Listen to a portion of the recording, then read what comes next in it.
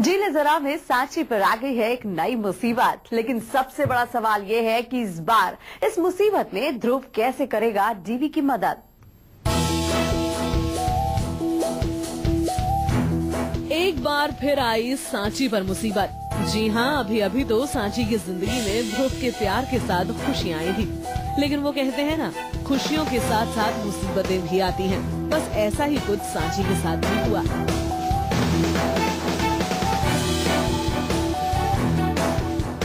जी हाँ एक बार फिर घर में छिड़ गई है प्रॉपर्टी को लेकर जान।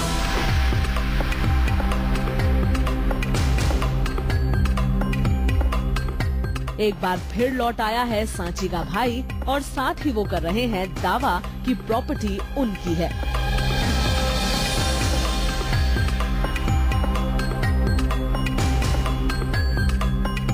लेकिन अपनी सांची भी कहाँ चुप रहने वाली है? तभी तो वो भी पूरे जोश में इस बात को मानने से कर रही है इनकार।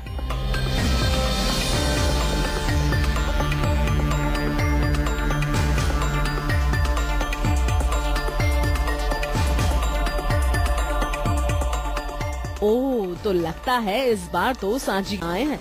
अब ऐसे में ये देखना दिलचस्प होगा कि क्या सांची ध्रुव के साथ मिलकर इस प्रॉब्लम का सोल्यूशन निकाल पाती है या नहीं।